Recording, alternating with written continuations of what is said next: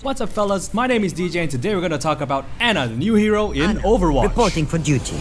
Ana is a sniper and one of the founding members of Overwatch. She is also the mother of Pharah, the Egyptian soldier, and her story is that she got shot in the eye by Widowmaker. She faked her own death to take a break from everything, and she only returned to Overwatch because she realized she was getting bored doing nothing with her life. Her role in the game is as a support sniper. Now what that means is she is both a support and also a sniper. Duh. She is a mobile healing so source with both buffs and debuffs for your team and the enemy team, and she also has a disable. Because she is a sniper, she's able to support and heal her team from range and up close, and her ultimate ability gives her team an advantage when turning the tide in closely fought matches.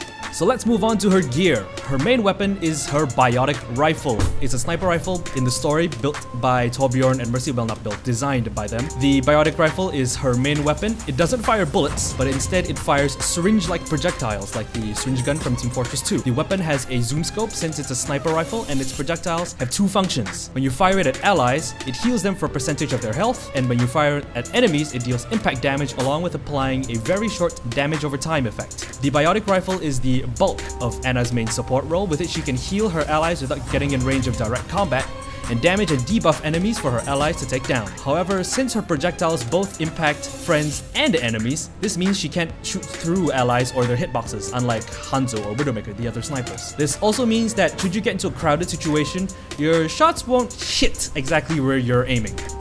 Up next is her abilities. Her left shift ability is a sleep dart.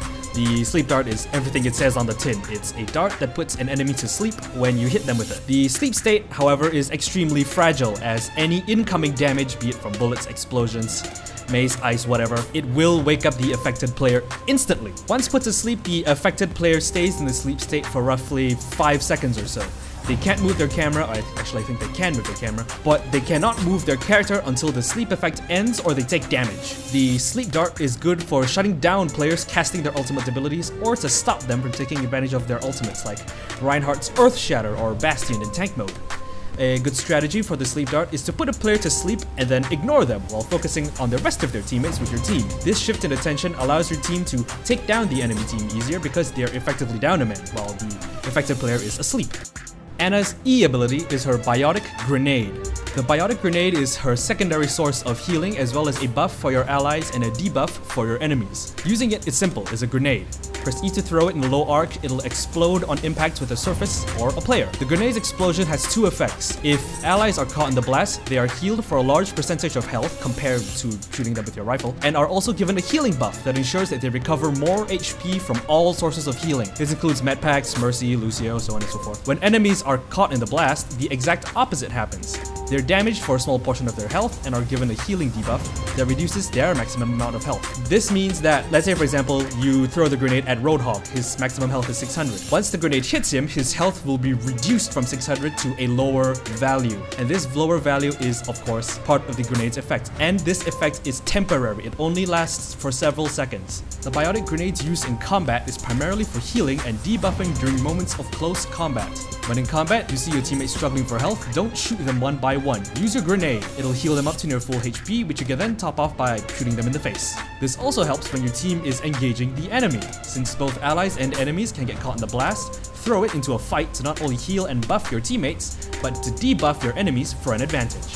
Finally, her ultimate ability. Ana's ultimate ability is the Nano Boost, a special syringe filled with nanobots that deliver, of course, the Nano Boost. The ulti is of course charged by doing everything usual to Overwatch, heal allies, damage enemies. However, the boost is single target, so only one of your teammates can take advantage of its effects at any one time. When in effect of the nano boost, your target gains increased movement speed, attack damage, and also gains increased damage reduction, meaning that they take less damage from enemy attacks. This effect lasts for about 10 seconds or so. Her ultimate ability is a massive game changer as it allows her to buff a strong or damaging allied hero when engaging an enemy. This is especially true when on capture point maps as her nano boosted ally can help to clear sieges or defensive lines, often by themselves. Some things to keep in mind when using her ultimate, it is single target, so you have to decide who it's best to give your boost to when you're engaging the enemy. Her ulti of course is voiced and audible through the whole map, which means it's going to draw attention to the ally that you've boosted. Use this shift in attention to help your team bring down the enemy team while they're distracted with avoiding your boosted ally. Last but not least, And a very, very, very important point. Ana's ulti does not apply invincibility. It only reduces damage taken by a large amount. This is not invincibility. You are not invincible when under Ana's ulti. The only invincibility buff in Overwatch is Zenyatta's ulti. To himself, not Ana. Moving on to Ana's role in combat, she as a support feels extremely similar to Zenyatta. Here's why. Both of them have direct single target heals, Ana's rifle and Zenyatta's Harmony Orb. Both of them have AoE heals, Ana's grenade and Zenyatta's ulti. Both have a debuff, Ana's grenade again, and Zenyatta's Discord Orb. Both of them do pretty good single target DPS, and both of them are made of wet rice paper against other offense heroes, sadly. The only difference between Ana and Zenyatta is that Zenyatta does not have a single target disable ability. Ana does, her sleep dart. So, when playing Ana, keep in mind that she's squishy as gelatin against offense heroes. Keep your distance, going close only if you have to, use a grenade and sleep dart as often as you can use them, and remember to think wisely about who on your team can use your ultimate the best. Right, time to move on to her strengths and weaknesses. Uh, from the little that I've played as Ana, she's already got a sizable pool of them. Firstly, her strengths. She is good against low health, lighter heroes like supports, other snipers, and builders. Ana is particularly a good counter against healers, specifically group healing, and here's why. Her Biotic Grenade if used against a group, limits the amount of maximum health that group of enemies has for a short period of time. This impairs the abilities of healers to maintain their allies past a certain point. Of course, the effect only lasts a few seconds, but those few seconds are the key between pushing past a defense or falling short. Ana is also very good at helping her offense hero buddies to maintain their frontline capabilities. Since her rifle is, well, a sniper rifle, she can scope in and heal her friends from range to keep them in the fight without them running away for a med pack. This also means that, as a healer, Ana is more sustainable herself since her position far away from the front line means she won't get hurt or die as often. Ana is most effective against tanks, as her Biotic Grenade often knocks their health down to about two-thirds their original HP value, don't quote me on this. Of course, since her grenade is a projectile, watch out for shields. Reinhardt's Force Shield, Winston's Energy Barrier, D.Va's Absorption Ray, and Zarya's Bubble Shield all block Ana's grenade. Poor Roadhog. Her Sleep Dart is extremely effective at stopping enemy ultimates. These are any ultimate abilities that actively involve the character, so Genji's Dragon Blade, McCree's High Noon, Reaper's Death Blossom, Pharah's Barrage, Soldier 76's Tactical Visor, Torbjorn's Molten Core, but only for himself, not the turret, Hanzo's Dragon Strike, but only if you hit him before he fires it, Bastion's Tank Mode, Roadhog's Whole Hog, and Winston's Primal Rage. Ana is also effective against other healers, especially those without means to heal themselves like Mercy and Zenyatta. But while Zenyatta is also a DPS machine with his Discord Orb, Mercy has little means of self-defense. Lastly, Ana's kind of strong against melee fighters. I'm looking at you, Genji.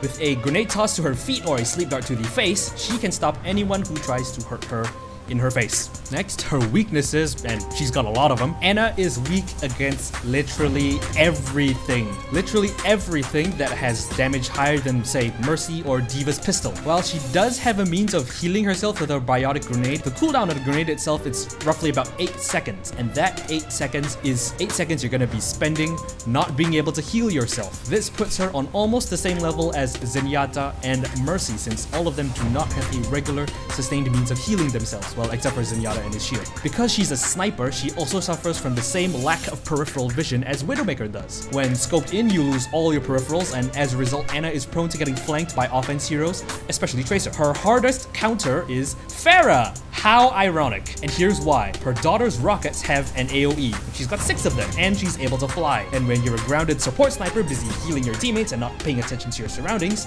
an airborne Pharah is almost a guaranteed death for you. Other hard counters for Ana include Reaper, Tracer, and funnily enough herself. Because she is classified as a support, her abilities also work way too well against herself. Which leads me to my last point, which is advice. If you're playing on a team that has an Ana, she's a healer first and foremost, so make sure she has line of sight. Unlike other targeted healers like Zenyatta and Mercy, Ana's heal triggers regardless of distance because of her rifle, but is it is imperative that you maintain line of sight. If you're injured and there's an Ana on your team, seek her out. If she's far away, let her shoot you. If she's nearby, call for healing and hope and pray that she notices and tosses a grenade your way. For people who love to main offense heroes or offense tanks, for example, Reaper, McCree, Reinhardt, or Bastion, Roadhog, Winston, these sort of heroes, Ana's ultimate is for you. The movement speed boost coupled with the attack damage increase and the incoming damage reduction are perfect if used on you. If and when an Ana boosts you with her ultimate, a good strategy is to disregard everything else and charge headlong into your foes, just like in the gameplay trailer. When you're fighting against an enemy Ana, like the points above, she is as flimsy as wet rice paper up close. When you know an enemy Ana is in the area, treat her like any other sniper. Flank around, get up close, and destroy her. Try to avoid her grenades as much as you can. Even if you have an allied Ana with you, the healing debuff the Biotic grenade applies from an enemy Ana, it cannot be removed by an allied Ana. I tried it on myself, it doesn't work. If you get hit by her sleep dart, don't panic. Remember, any form of damage you take when you're sleeping wakes you up instantly. So don't panic and wait for, well, sadly, any incoming source of damage.